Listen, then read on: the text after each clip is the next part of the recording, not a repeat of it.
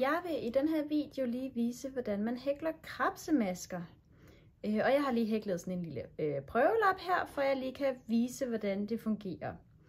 Øh, jeg tager lige en lille kontrasttråd her, øh, til at vise, så I kan tydeligt se, hvad det er, der sker, når man hækler en krabsemaske. En krabsemaske er faktisk bare en omvendt fastmaske. Øh, så det jeg gør, øh, når jeg, nu stikker jeg bare lige ind et vilkårligt sted her på min øh, prøvelap, der jeg stikker min nål igennem og fanger en lykke, sådan der, så er jeg ligesom i gang. Øhm, og normalt, når jeg vil hækle en fast maske, så vil jeg gå frem i første maske, der ligger lige foran mig her, op og fange mit garn, trække den igennem og køre igennem sådan der. Så har jeg hæklet en fast maske. Når jeg hækler en krabsemaske, så gør jeg det samme. Jeg arbejder bare den modsatte vej. Så jeg går lige tilbage her til min lykke. Sådan der. Og så, i stedet for at arbejde mig fremad, så arbejder jeg mig tilbage. Så jeg går tilbage i den maske, der ligger lige inden. Sådan der. Stikker ned i den. Går op. Øh, fanger mit garn her. Sådan der. Trækker det igennem.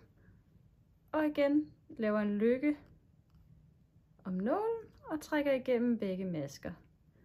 Så jeg gjorde præcis det samme, jeg gjorde det bare den modsatte vej. Jeg gør det lige en gang til. Jeg stikker ned igennem masken for inden, op og fanger garnet, trækker det med igennem, og trækker tråden gennem begge lykker. Sådan der. Så jeg går den modsatte vej, sådan der fanger mit garn, trækker igennem og trækker tråden gennem begge lykker. Sådan der. Jeg gør det lige et par gange mere. Sådan der ind igennem, op og fanger mit garn. Sådan der. Og trækker tråden igennem.